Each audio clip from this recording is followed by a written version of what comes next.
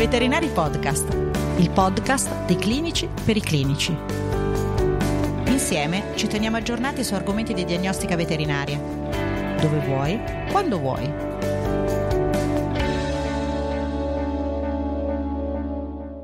Siamo su Veterinari Podcast. Benvenuti. Patrizia Sica e di nuovo con Andrea Ciraulo.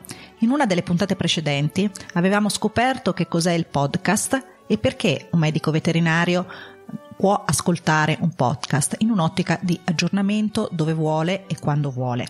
Questa puntata invece la dedichiamo a qualche cos'altro. Andrea, perché un veterinario dovrebbe fare un podcast? Patrizia, bentrovata, bentrovati anche tutti voi che ci state ascoltando. Beh, perché fare un podcast? Fondamentalmente per comunicare la nostra professione, la nostra professionalità tutti noi, tutti coloro che lavorano magari come liberi professionisti oppure che lavorano comunque ehm, nel mondo scientifico come quello dei veterinari, prima o poi nella loro vita si potrebbero trovare di fronte alla necessità di comunicare il fatto che sono dei professionisti e di comunicare quindi la propria professionalità, anche in un'ottica banalmente, non è sempre detto, ma anche in un'ottica di trovare nuovi clienti, di trovare nuove collaborazioni, di trovare modo di fare dei nuovi lavori. Fondamentalmente facendo un podcast io metto a disposizione la mia conoscenza, cosa che è strepitosa anche soltanto da un punto di vista etico, se ci pensi, cioè io faccio vedere alle persone che so delle cose e le racconto ad altre persone che quelle cose lì non le conoscono.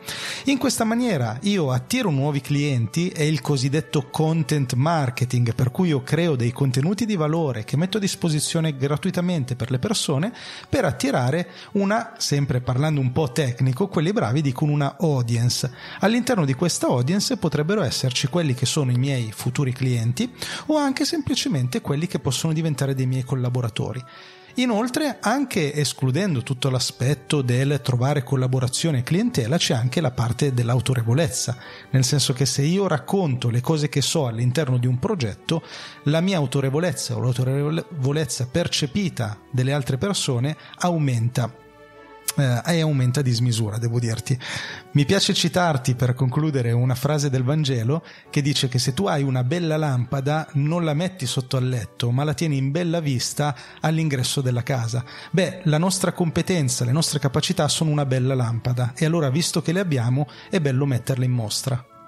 Grazie mille Andrea, anche perché forse non abbiamo rivelato l'altra volta un altro aspetto, un'altra potenzialità del podcast, ovvero c'è anche un po' di interattività possibile no? con gli ascoltatori, ci sono delle stelline, ci sono la possibilità di commentare, eh, quindi in qualche maniera creiamo un legame, no? uh, oltre a farci conoscere. Uh, anzi, da questo punto di vista, chi fa podcast è molto contento se c'è questo tipo di interazione, eh, innanzitutto perché fa capire eh, se sta facendo un buon lavoro, ma anche magari semplicemente perché scala l'audience e quindi diventa più visibile. Ho detto qualcosa di sbagliato? No, è più che corretto e instaurare delle buone relazioni è uno dei motivi più validi per cui io dovrei fare il podcast. Il podcast in particolare, anche rispetto ad altri mezzi, mi permette di instaurare delle relazioni molto molto profonde. Um, fare un progetto di comunicazione online, di comunicazione digitale per un professionista come possono essere i veterinari, senza avere come obiettivo quello di instaurare delle buone relazioni, beh, sarebbe un progetto un po' zoppo. Lo scopo di comunicare è proprio quello, le relazioni sono il succo, sono la parte più importante del lavoro in generale, ma della comunicazione digitale in particolare. E quindi, cari veterinari, non vi resta che provare, anche perché in altre categorie molto simili alle nostre ci sono già dei podcaster molto famosi, quindi non barricatevi dietro il concetto, ma si parla di medicina, sono un medico veterinario, non c'è professionalità da questo punto di vista perché sappiate che ci sono già dentisti e psicologi che da questo punto di vista hanno dei bei canali e hanno una bella riscontro dal punto di vista pratico. E come considerate che il podcast oggi è un trend nettamente in crescita, è una cosa che sta aumentando, le persone stanno scoprendo i podcast, ascoltano sempre più podcast, ma ancora in Italia non è una cosa abbastanza abbastanza famosa da dire, beh, quell'ambito è saturo di comunicatori. Quindi posizionarci oggi come comunicatori nel mondo del podcasting ci permette di eh, acquisire da subito una posizione importante. Banalmente il, veterinario, il veterinario che oggi vuole fare un podcast sul mondo veterinario è il secondo, perché il primo è Veterinari Podcast di My Love in termini cronologici, però è uno dei primi a farlo, si posiziona subito in, una, in un ambito, in un settore e quindi eh, in maniera piuttosto facile riesce anche a scalare le classifiche in virtù, in vista poi di un ampliamento di questo mondo e quindi anche di arri- dell'arrivo di un'audience molto grossa. Quindi perché proprio un, co- un podcast e non qualche cos'altro? Beh, i motivi per fare un podcast nel particolare non qualcos'altro, per esempio una pagina Facebook, un profilo su Instagram, un canale YouTube, sono molti. Alcuni di questi dipendono più dalle proprie attitudini personali. Se a me piace parlare piuttosto che scrivere, probabilmente sarò più portato a fare un podcast piuttosto che un blog, per esempio. Però per quanto mi riguarda ci sono anche delle motivazioni oggettive e concrete che mi fanno preferire la comunicazione tramite podcast rispetto ad altri canali. Te ne cito soltanto tre per non annoiarti e per non annoiare chi ci ascolta. La prima è quella che a me piace chiamare intimità. Il fatto che il podcast sia utilizzato con le cuffiette mentre l'ascoltatore fa tutte le cose della vita quotidiana, mentre lava i piatti, mentre fa le pulizie, mentre va in palestra, a volte mentre si sta addormentando, mentre guida per andare al lavoro, permette alla persona che parla, al podcaster, di entrare in forte relazione con chi sta ascoltando e di instaurare una mm, relazione molto intima. Il secondo motivo e la possibilità di approfondire. A differenza di altri mezzi, tu pensa a YouTube che ti obbliga in qualche maniera a rimanere seduto davanti allo schermo e che eh, proprio strutturalmente dà molte distrazioni alla persona che ti segue. Tu pensa alla famosa colonna di destra dei video suggeriti di YouTube che eh, entrano in forte concorrenza con quello che tu stai dicendo. Il, colui che ti guarda dice clicco sulla colonna o continuo a guardare il tuo video.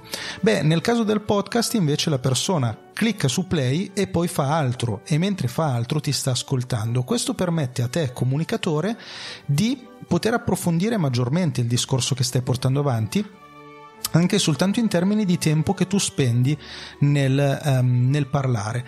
Un podcast può durare 10 minuti, ma può durare anche un'ora e mezza e se una persona è interessata a ciò di cui tu stai parlando, ti ascolterà per un'ora e mezza. Terza e ultima cosa che ti voglio raccontare, che è un po' eh, una, una, conseguenza delle prime due, è l'autorevolezza. È una cosa che ti ho accennato anche poco fa. Eh, il podcast permette di farti diventare autorevole. Se tu racconti le tue competenze, lo racconti in maniera intima e approfondita, beh, le persone che ti seguono iniziano a percepirti come una persona estremamente autorevole nel tuo campo. È successo a me, è successo a tutti i podcaster e potrebbe succedere anche a coloro che ci stanno ascoltando.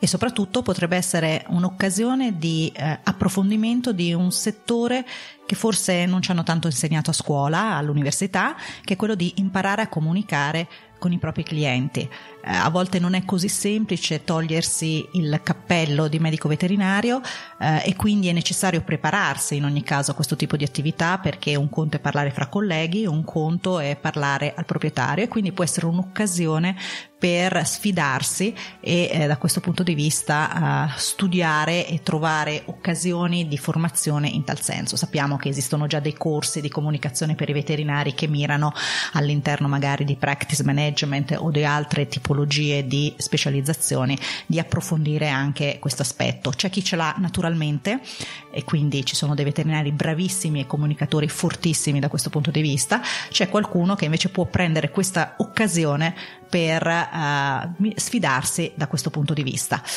Credo di aver, degli, abbia, di aver avuto l'occasione con questa puntata di dare degli spunti, se non altro di riflessione per uh, i colleghi e poi permettetemi, avete capito che è importante avere tante stelline ed avere dei commenti positivi per salire in classifica, premiate questo primo podcast dedicato ai veterinari e votateci. Grazie. A presto. Ciao.